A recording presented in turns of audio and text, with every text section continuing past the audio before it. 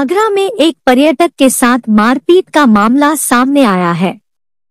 जहाँ वाहन टच हो जाने के बाद करीब डेढ़ दर्जन युवकों ने पर्यटक की बुरी तरह से पिटाई कर दी।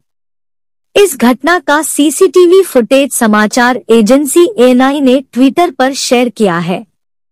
स्थानीय पुलिस ने संज्ञान लेते हुए पाँच आरोपियों को गिरफ़्तार कर लिया। अन्य आरोपियों की तलाश जारी है।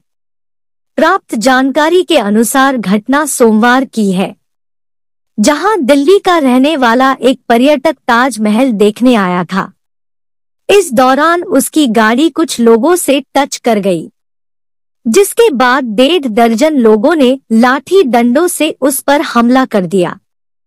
इस बीच पीड़ित खुद को बचाने के लिए पास की दुकान में घुस गया। लेकिन बदमाशों ने उसे नहीं छोड़ा और दुकान में घुसकर लाठी डंडे बरसाते रहे।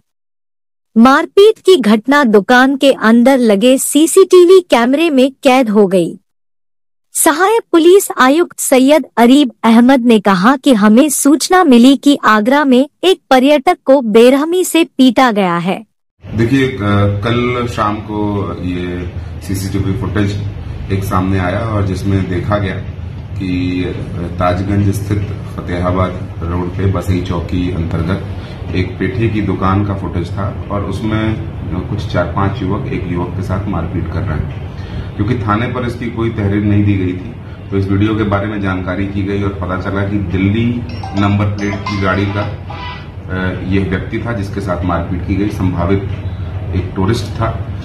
इस घटना का तत्काल संज्ञान लेते हुए ताजगंज थाने पर सुसंगत धाराओं में पुलिस की तहरीर पर अभियोग दर्ज हुआ और पुलिस की तीन टीमें पुलिस आयुक्त महोदय के निर्देश पर इन सभी मारपीट करने वाले युवकों की तलाश करने निकली और कल रात को ही पाँच अभियुक्तों को इसमें गिरफ़्तार करके और माननीय न्यायालय के समक्ष प्रस्तुत किया जा रहा है।